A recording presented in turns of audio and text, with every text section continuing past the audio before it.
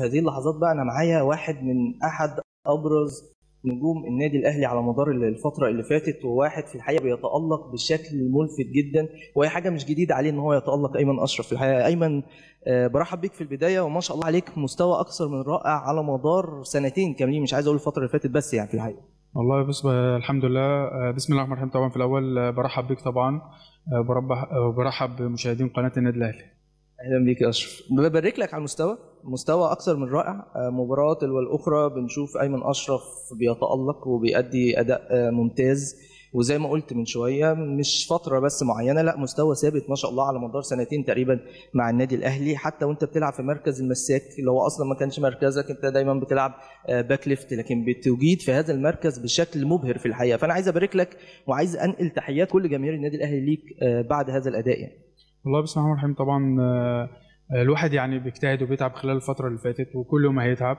آه، في فترة كده معينة كان الواحد بيسمع انتقادات لكن آه، يعني الواحد كان بيحاول يقفل ودانه شوية آه، ويجتهد في الملعب لأن هو ده اللي باقي إنك تشتغل في الملعب عشان تفرح جمهور النادي الأهلي. آه، بس فهو ده ده ده المهم في القصة كلها إن الواحد يجتهد ويتعب في الملعب آه، في الآخر هيلاقي حاجة حاجة كويسة يعني. اتعاملت إزاي مع الفترة اللي كان فيها انتقادات اللي انت ذكرتها آه، دلوقتي؟ وكانت انتقادات كبيرة جدا على أيمن أشرف. في بعض اللاعبين ممكن تتأثر من هذه الضغوط وده طبيعي إن يبقى في ضغوط في النادي الأهلي. لكن أنت شفنا شكل مغاير مش عايز أقول مغاير تماما لأن أنت كنت بتأدي بشكل جيد. ممكن التوفيق ما كانش حليفك في فترة من الفترات. لكن اتعاملت إزاي مع المواقف دي؟ وازاي آه، قدرت إن أنت بمنتاليتي معينة وعقلية معينة إن أنت تتخطى كل هذه الصعاب وتظهر بالشكل اللي مبسوط بيه جدا جمهور النادي الأهلي؟ والله دايما أنا يعني عندي عندي حاجة كده من جوايا إن أنا دايما ما بحبش أتكلم كتير آه، وما بحبش أسمع برضه. يعني آه، ممكن أسمع حاجات إيجابية خفيفة من أشخاص قريبين مني أو أشخاص قريبين مني يتكلموا معايا إن انك عندك حاجات سلبية. فدول أكتر ناس بسمع لهم يمكن والدي أكتر حد بسمع له في النقطة ديت والدي وأخويا. يمكن أكتر ناس بسمع لهم إن هم ما بيكذبوش عليا. يعني لو في حاجة سلبية يقولوا لي إن في حاجة سلبية أو في حاجة إيجابية. عشان كده دايما ببقى قافل وداني وببقى قافل لساني دايما. يعني حتى لو أنا من جوايا متضايق فبطلع ال- الغل دوت آه الغل دوت في الملعب في التمرين بجتهد أكتر. آه، يمكن أنت بتلعب في, أكبر نادي في أفريقيا يعني.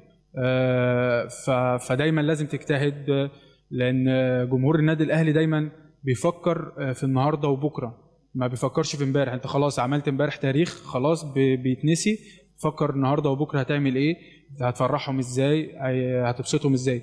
فده كل تف- تفكير أنا كشخصيا يعني إن أنا أجتهد النهارده وبكره وكل يوم عشان أقدر أفرح جمهور النادي الأهلي. ده التفكير المطلوب في الحقيقة ومميز آه، جدا من أحد نجوم النادي الأهلي أيمن أشرف لكن بالتحديد خلاص خدت على مركز المساك ولا يعني بتحن ساعات لمركز الظهير الايسر لا أنا بلعب بقالي كتير مساك. بقالك كتير آه بس الأساس يعني كنت بتابعك في قطاع الناشئين ولا اول ما كنت مع النادي الأهلي طلعت كنت بتلعب back left يعني. لا وبروح المنتخب بلعب back left يعني.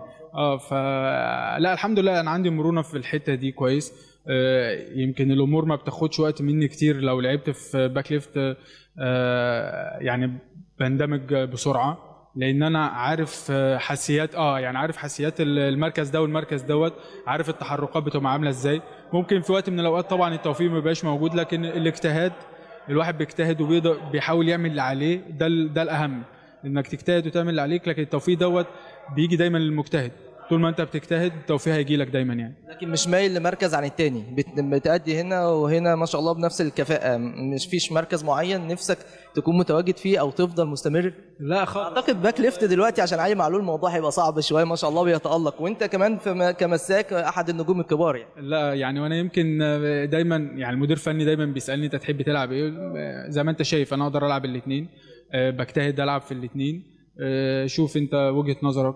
أنا أنا أهم حاجة عندي إن أنا أكون في الملعب أكون في وسط ال 11 ايا كان هنا أو هنا المهم أكون موجود وألعب فدي بالنسبة لي حاجة مهمة يعني. خلينا بقى نتكلم في الحدث الأهم اللي إحنا فيه دلوقتي بطولة كأس العالم للأندية وهو تتويج لمجهود كبير جدا لنجوم النادي الأهلي بعد الفوز ببطولة دوري أبطال أفريقيا وكانت ضغوط كبيرة إن إحنا كان لازم نكسب البطولة دي بعد فترة كبيرة جدا. إحنا الحمد لله كسبنا البطولة ودلوقتي متواجدين في كأس العالم للأندية. بتفكروا إزاي في بطولة كأس العالم للأندية؟ وبتفكروا إزاي في أول مباراة أمام الدحيل والله دايما يعني يمكن زي ما أنت قلت كده إحنا كسبنا بطولة أفريقيا بصعوبة. يعني في في, في مراحل كتيرة جدا كانت صعبة. بالنسبة لنا في منها كورونا ومنها ماتشات صعبة بره أرضك و ويعني في منها ماتشات صعبة جدا. ف... فأنت أخدت البطولة مش سهل. فإحنا دايما بنقول لبعض إحنا ما خدناش البطولة سهل ووصل يعني وصولنا هنا ما كانش سهل. فاحنا لازم نتعب اضعاف علشان نقدر نعمل حاجة كويسة هنا نفرح بيها جمهور النادي الاهلي آه، اللي دايما مساندنا وفي ظهرنا يعني مباراة بايرن أنا مش عايز أتطرق ليها لأن إحنا لسه ما وصلناش لبايرن عندنا عقبة قوية جدا وصعبة جدا أمام فريق ال- الدحيل لكن هل هي في حد ذاتها دافع بالنسبة لكم إن أنتوا تفوزوا آه، في المباراة الأولى عشان تواجهوا فريق كبير بحجم بايرن ميونخ ولا بتفكروا إزاي بالتحديد في المرحلة اللي إحنا فيها دلوقتي؟ أنا بس عايز أوضح الجزئية دي لجمهور النادي الأهلي لأن البعض دايما بيتكلم في نقطة آه، لسه بعيدة مش اللي قدامك دلوقتي اللي قدامك مباراة الدحيل. فأنا عايز أنقل تفكير اللعيبة لجمهور النادي الأهلي ماشي إزاي بالتحديد في الجزئية دي.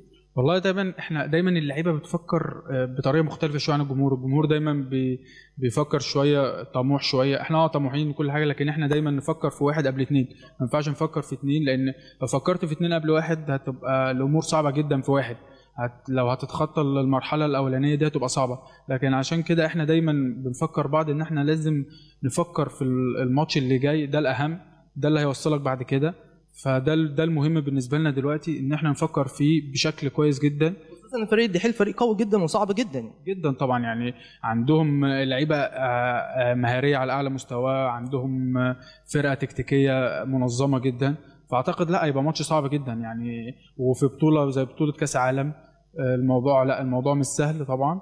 آه، وعلى أرضهم هنا كمان يعني بنلعبهم هنا على أرضهم فالموضوع كمان مش سهل.